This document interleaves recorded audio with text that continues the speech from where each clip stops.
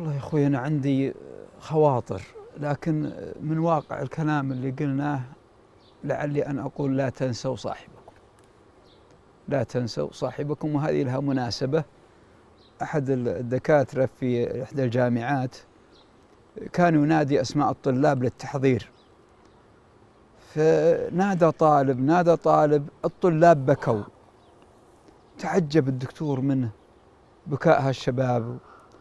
قام واحد منهم قال يا دكتور هذا جاء حادث يوم الخميس وتوفي رحمة الله عليه.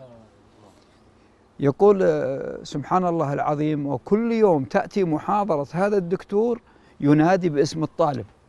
ما أحذفه. ما أحذفه. والطلاب يتعجبون قال لا تعجبون أنا أذكر صاحبكم هذا لأنه غال عندكم لكي تدعون له بقول آمين.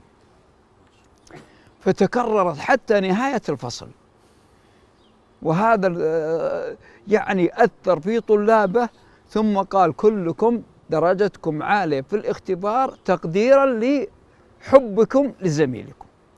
فأقول هنا يا أخواني هي لمحة بسيطة ومع الآيات اللي ذكرها حبيبنا الغالي أن نربط واقعنا بزملائنا بأحبابنا. لا ننساهم. لا تنسى والديك لا تنسى يعني اليوم حقيقة ذرفت الدموع اليوم. لا أخفيكم يعني وأنا أرى الملامح في الجميع. ذرفت الدموع وأبشركم بشارة. النبي صلى الله عليه وسلم قال عينان لا تمسهما النار وذكر عين بكت من خشية الله. بكت من خشية الله. كلكم بكيتم من خشية الله. بانت القلوب الرقيقة بانت كذا. فلذلك قد يقول الإنسان ممن شاهدنا الآن يمكن أن عشرة بكينا لكن ثقوا ثقة إن كل من شاهد هذا البرنامج سيبكي. سيبكي لا شك في ذلك.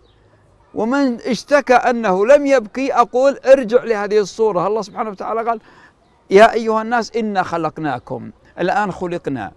ثم رأينا وسمعنا الآباء الذين ماتوا.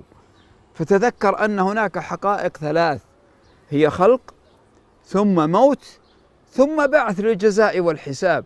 إذا لم يرق ترق قلوبنا مع هذا الأمر فإن الإنسان يقول ابكي على قلبك. الله يوفقنا وياكم الله يسعدك ربي الله